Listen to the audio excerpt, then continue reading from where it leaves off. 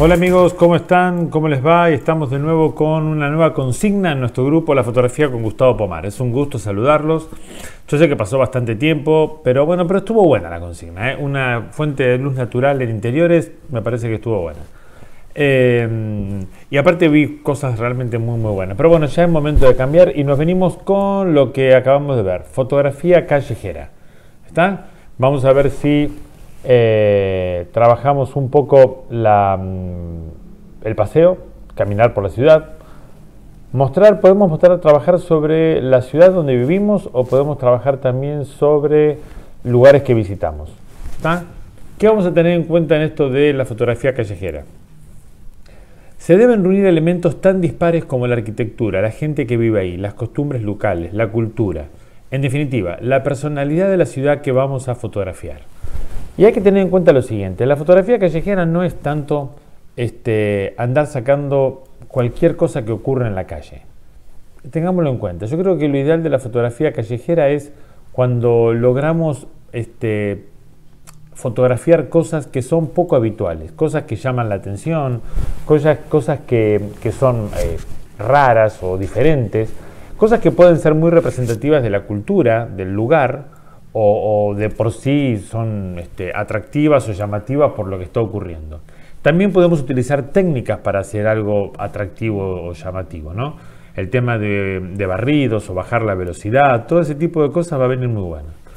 Lo importante es captar situaciones que sean representativas del lugar donde estemos, del lugar que estemos, o que sean poco habituales. ¿está? Ese es el punto. Ahora, pongamos ojos de turistas Vamos a ponernos en modo, en modo turista, vamos a ponernos en, en esta cuestión de, ver aquellas cosas que no vemos habitualmente si estamos en nuestra ciudad, si estamos en otro lugar, por viajes o por, por, vacaciones, bueno, perfecto. Pero si estamos en nuestra ciudad, ojos de turista, ojos de aquello que, a ver, ¿qué es representativo? ¿Qué puede llamarle a alguien, qué puede llamarle la atención a alguien que no es de acá? O, por ejemplo, también puede ser la cuestión de decir, bueno, necesito hacer una serie de fotos que representen la ciudad donde vivo. Entonces, a ver cómo puedo fotografiar eso para que eh, vean el espíritu de la ciudad o vean cosas características de nuestra ciudad o costumbres o cosas que no son habituales. Entonces, que ocurren en la calle o que ocurren en, en lugares públicos, ¿verdad? Anticiparse y tener paciencia son las claves principales en esto. ¿Está? Eso tenemos que tener en cuenta. Estar viendo lo que ocurre a nuestro alrededor, estar viendo cuáles son puntos de vista y ángulos de toma que sean muy interesantes, ¿está? porque por ahí simplemente nos, nos este, conformamos con hacer la foto así de lo que estamos viendo, pero hay detalles, hay situaciones, hay cosas que son poco habituales y que por ahí pueden llamar la atención.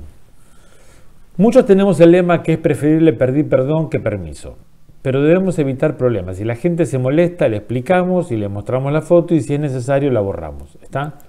Pero tratemos de conectar con la gente, tratemos de conectar con los lugares, tratemos de que lo que hagamos sea interesante. Hay gente que si le pedimos permiso no tiene ningún problema y hasta a veces nos permiten hacer cosas interesantes.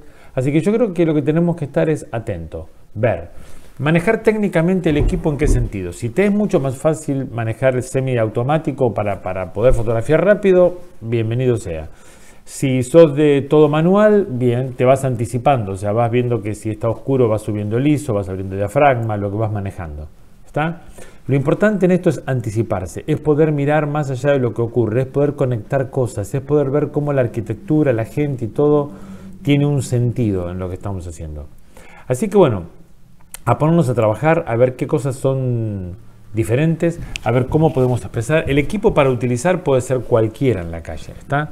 Generalmente me parece que un lente, un zoom que pueda andar entre 24, 105 o una cosa por el estilo está bueno porque aunque no sea muy luminoso, puedes levantar ISO, puedes hacer lo que quieras, pero te da la posibilidad y la versatilidad para trabajar rápido en cualquier situación. ¿Estamos? Así que bueno, pero lo que sí, lo que quiero pedirle de alguna manera es que no pongamos fotos que, sean, eh, ¿cómo te puedo decir? Obvias. Pongamos fotografías que puedan ser llamativas, pongamos fotografías que puedan este, transmitir algo, alguna cosa, que, realmente denoten que hay un ojo particular que ve algo diferente. Sacar la foto de una persona cruzando la calle o, o autos parados en un semáforo, o sea, no tiene ningún sentido. Es como algo que vemos todo el día. Acuérdense, yo sé que no todo el mundo comparte esto, pero mm, eh, de alguna manera también sé que eh, a no todo el mundo le interesa ver lo que puede ver con sus propios ojos. Entonces, a ver esa mirada de fotógrafo, esa cosa que te hace capturar momentos, situaciones que son diferentes a todos. Vamos a ver cómo nos va con eso.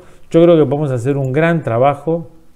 Creo que podemos este, eh, hacer muy buenas fotos. Y bueno, ya este, lo estamos activando, ya estamos arrancando. Y bueno, adelante con las fotos para tener un muy buen, una muy buena consigna, un muy buen tema.